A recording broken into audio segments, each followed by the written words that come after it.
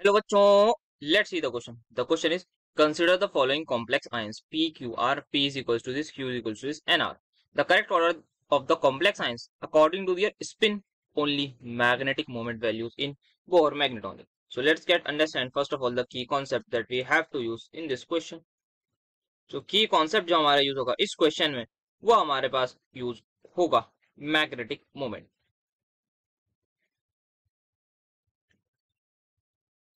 Magnetic moment तो सबसे पहले हमें दे रखा है जो कॉम्प्लेक्स है, वो है F E F six three minus तो यहाँ पे आयरन के साथ फ्लोराइड है छे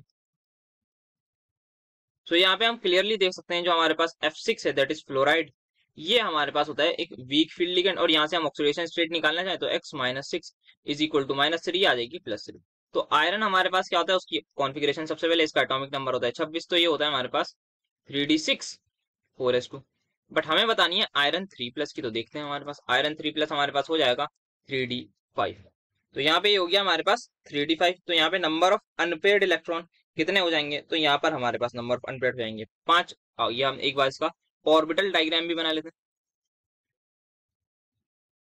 तो ये जो ऑर्बिटल डायग्राम है, यहाँ पर देख सकते हैं हम हर उसमें एक, दो, तीन, चार, पाँच पेयरिंग नहीं होगी बिकॉज़ ये हमारे पास क्या है?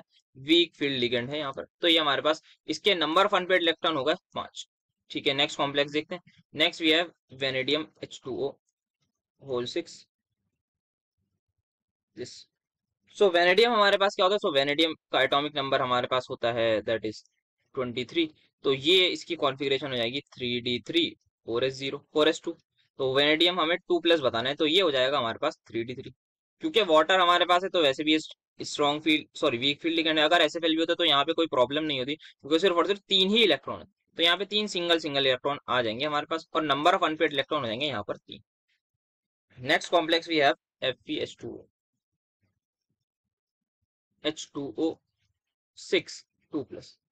again water strong field ligand है आयरन की हमने देखी है ग्राउंड स्टेट पे। एफ़ टू प्लस हमारे पास हो जाएगा। Three D six and four S zero तो थ्री डी सिक्स को एक बार ड्रॉ कर लेते हैं ऑर्बिटल डायग्राम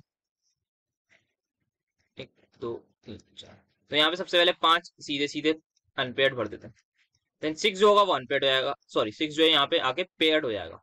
अब यहाँ पे ये चार बचे हमारे पास अनपेड इलेक्ट्रॉन तो एन की वैल्यू आ गई जो मैग्नेटिक मोमेंट है, वो हमारा किसके इक्वल होता है वो इक्वल होता है N into N plus two का अंडर रूट सो म्यू हमारे पास जो है, वो डायरेक्टली प्रोपोर्शनल होता है एन के। जितने ज़्यादा हमारे अनपेड इलेक्ट्रॉन उतना ज़्यादा हमारा मैग्नेटिक मोमेंट तो हम यहाँ पे देख सकते हैं। सबसे ज़्यादा अनपेड इलेक्ट्रॉन किसके हैं? N is equal to five यहाँ पे सबसे ज़्यादा फाइव है। फिर क्या है? फिर हमारे पास यहाँ पे फोर है। फिर यहाँ पे थ्री है। तो फाइव किसके हैं? फाइव है हमारे पास इसके तो एफ़ ई एफ़ सिक्स ये हमारे पास था पी ये आ गया P then we have Q ये है क्यू ये आ गया आर तो हमारे पास जो ऑर्डर आ जाएगा, वो सबसे ज़्यादा पी के हैं तो सबसे ज़्यादा पी आ गया। देन आर आ जाएगा एंड देन क्यू आ जाएगा। तो जितने ज़्यादा नंबर ऑफ़ अनपेड इलेक्ट्रॉन उतने कम हमारे पास वो उतना ज़्यादा हमारा मैग्नेटिक मूवमेंट इसके पाँच, इसके चार, इसके तीन। तो इस तरीके से हमारे पास आ जाएगा फाइव फोर थ्री ये हमारे पास ऑर्डर आ जाएगा। So what will be our final answer so the final answer is going to be P R Q P R Q P R Q so ये हमारे पास हो जाएगा। So the final answer is going to be option number B hope you understood it well best of